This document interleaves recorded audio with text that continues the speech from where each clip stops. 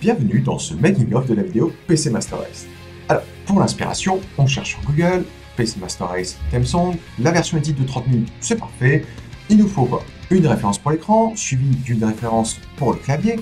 Bon, et ce ne serait pas la même sans Steam, bien sûr. On est obligé de le mettre.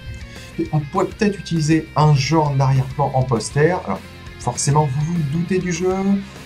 Star Citizen. Voilà, ça, c'est du jeu PC Master Race. Ça, c'est du jeu, tu peux pas tester. Ah. ah non, en fait, tu peux vraiment pas tester J'ai essayé, ça fonctionne pas. Bon, puis ce ne serait pas complet sans, celle-là est un peu dur quand même, Linux Tech Tips, hein. plus PC Master Race que les PC qu'il expose, il n'y a pas. Non, sérieux. Même lui, il sait que c'est n'importe quoi. Regarde ça. Bon, allez, blague à part, on va passer à la partie la plus intéressante, en tout cas pour ceux qui désirent un vrai making-of.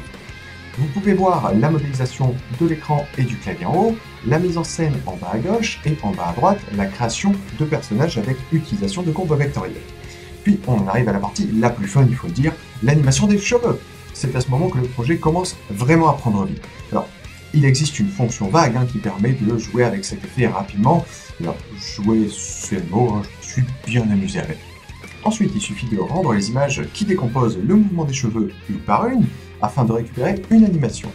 Alors, il s'agit d'une animation successive de seulement 10 images ici. Hein.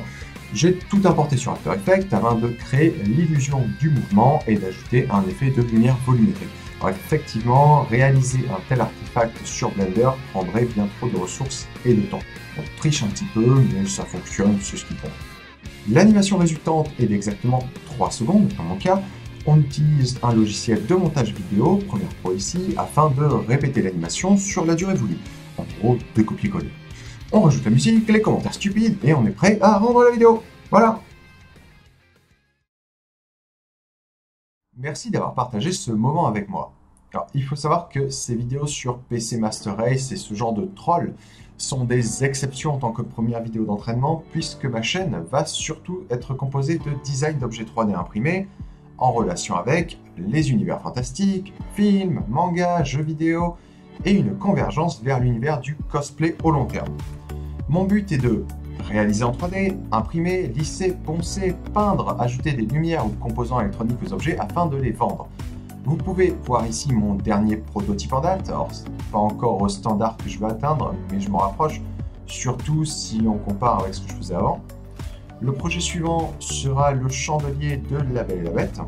Alors oui, je sais, pour les droits d'auteur, c'est un peu complexe. Pour l'instant, je ne pas, alors ça me. Donc pour ceux qui sont intéressés par cet univers, je vous encourage à vous abonner à la chaîne, surtout en tant que nouvelle chaîne, j'ai bien besoin du soutien. Je laisse les liens en description vers Facebook, Twitter, Instagram, euh, DeviantArt euh, et prochainement normalement mon site personnel. Je ne vais pas mouiller là-dessus, euh, ça peut prendre du temps. Ensuite, pour être honnête, j'ai pas beaucoup de financement à l'heure actuelle, tout est de ma poche, ce qui est plutôt dur. Je vais essayer bientôt de vendre des objets, mais aussi peut-être faire une campagne Kickstarter. Bon, ce sera pour la vidéo suivante. Pour l'instant, je vous dis à la prochaine avec lumière et euh, bien évidemment, il y aura le making of de l'objet en question. Merci